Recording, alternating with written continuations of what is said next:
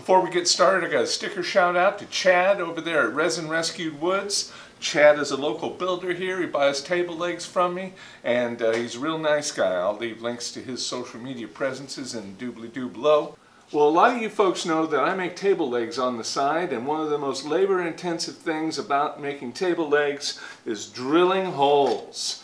This stack of plates here, these are the mounting plates for the legs, uh, represents 116 holes that I had to drill. It takes six seconds to actually drill the hole and uh, that took me nearly an hour to drill this stack of plates. That's an unacceptable use of my time so after I batch out this bunch of legs here we're going to make a hand punch and that'll be today's project. And there the legs are so let's get on to the punch project. Now I've actually been collecting parts for this project for quite some time. Uh, one of the things I'm going to use is this is a linear bearing, uh, the same kind you'd find on a CNC router, and, and this uh, track rides inside it. And I'm going to mount the linear bearing to a framework that I'll build, and this track will hold this punch die. Now you never know what you're going to get on this channel, so if you click that notification bell, you'll be among the first to find out what this week's project is. So one of the first things I want to do is create a CAD model so I have an idea of what I want to build. I know I want a, a mounting perch for the bearing, I want a base, I want a tower. We can go to McMaster-Carr and import the CAD model of the bearing and bring it into our model to give us a better idea of what this thing's supposed to look like. We're also going to need to punch a couple of holes in it and create a couple of uh, fulcrum rods that we can uh, pry against with whatever kind of lever we come up with.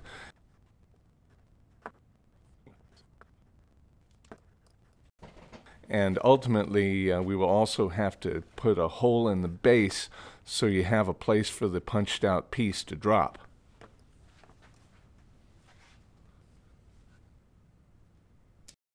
Okay, moving right along, I think we'll make the mount for the bearing.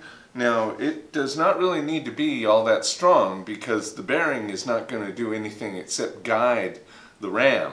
And the ram is where all the uh, magic happens and all the force is applied. Now the question is how to get the hole pattern off the bearing and onto the steel. Now one thing I want to show you guys, I got these pieces of tape in here. Now take a look here. This There's a little plastic thing in there and that plastic thing is holding the bearings in place if you let that plastic thing slide out, all the bearings will fall out of this thing and then uh, you'd have a problem. When you transition from the plastic keeper to the rail, you've got to push the rail through to push that thing out.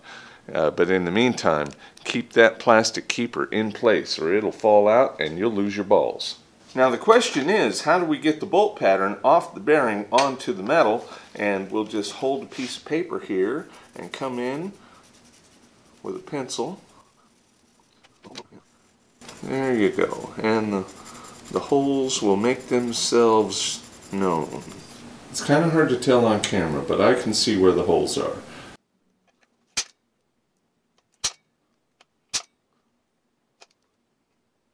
So I went to the steel yard with the vision of my CAD model in my mind, but one of the first things that occurred to me is in the CAD model, the ram is right next to the upright tower, and that's not any good.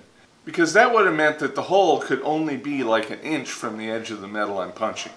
And I want a little more range than that.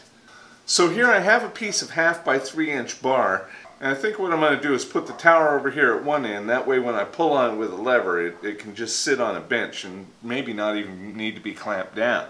Now as far as my tower goes I think I'm going to just uh, weld it at an angle. I'll cut some 45 degree angles on it and uh, we'll weld the tower here on one end. That way I get uh, three or four inches that I can go into the middle of the plate. And here I've made this mounting plate for the bearing and we'll just weld it onto the tower.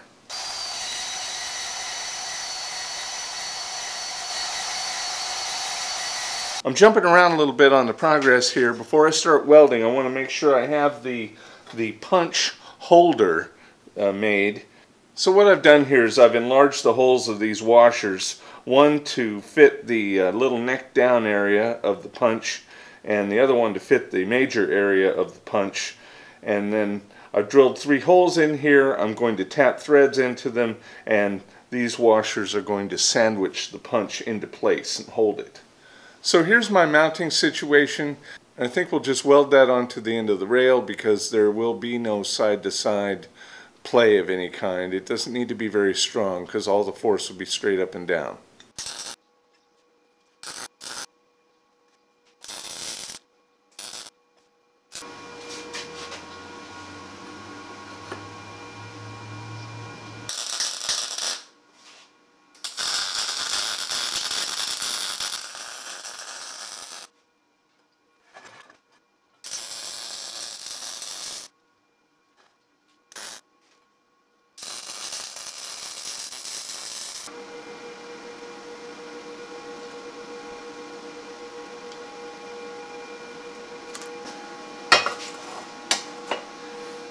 Yeah. See that's looking a little bit off. Apparently welding that in pulled it down. So we're going to have to grind that a little bit.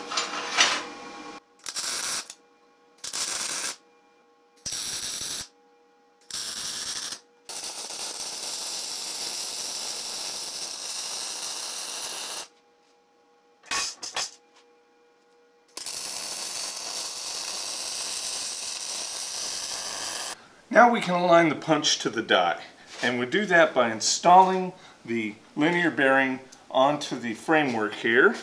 This is still fairly warm but I'm anxious to get, get this thing working. Now I made this for another project but it just happens to fit the, the die so I'm going to use it. Now this is a Scotchman punch and die set and the way they said to align it is to just uh, put install the punch and put it all the way down into the die and that's about all you have to do. So it's aligned now. I'm just going to go ahead and tack weld this clamp into place and then we'll get on to building the lever.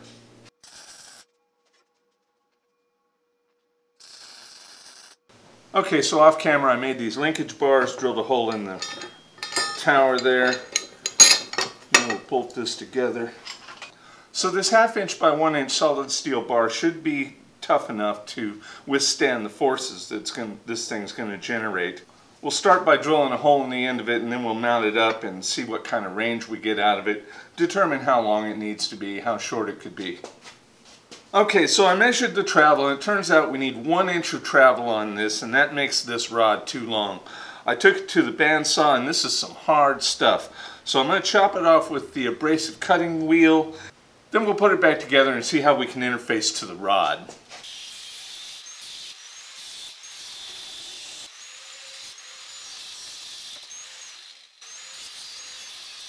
Now what I was originally going to do is, is make another link to connect this bar to the uh, rail and uh, I was just going to let it touch and the link would just hold it in place so when you lift the bar it lifts the rail.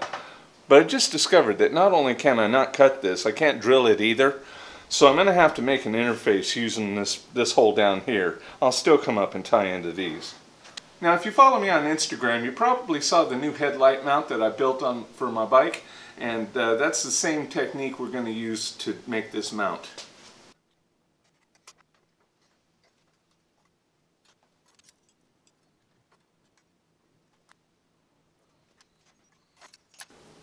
Okay, so I bent this a little bit. Now I'm going to cut a little relief hole in there and bend it some more.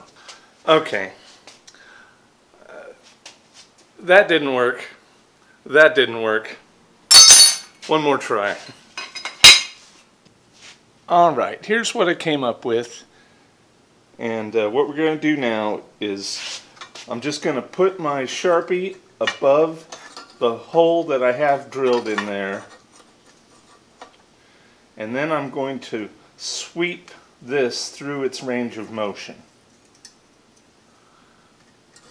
And that's going to give me an arc that I'm going to need to cut out of that. And we'll put screws through there and be done. Okay, so it's mostly together and it's looking pretty good. Yeah, I think that's going to work. We got to get some spacers in there and screw the, the ram to the lever. Okay, well the camera battery died when I was getting those screws in, but look at that. That, that works. That just totally works. We'll, we'll start with this thin stuff. Okay, I'm gonna have to clamp it down, which is actually not that big a deal. Okay, here goes. Wow. Well, it only put a dimple in it. But have a good look at that. That that is looking that is looking good. This is going to need some work. What I'm going to have to do is add a level of gear reduction to the lever. And I know how to do that, but it's going to take a little bit of time. One thing I just thought of is if I just move the fulcrum point back a couple inches and drill a new hole and tap it, that would probably work. And I don't think it needs to be threaded either. Okay, so I drilled it for a 3 32nd inch roll pin and I, and I put the fulcrum point a couple inches back. Let's see if we can get this roll pin in. All right.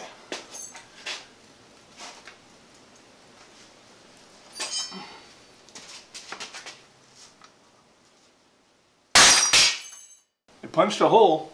It was really hard to do. And I don't like the way it bottomed out.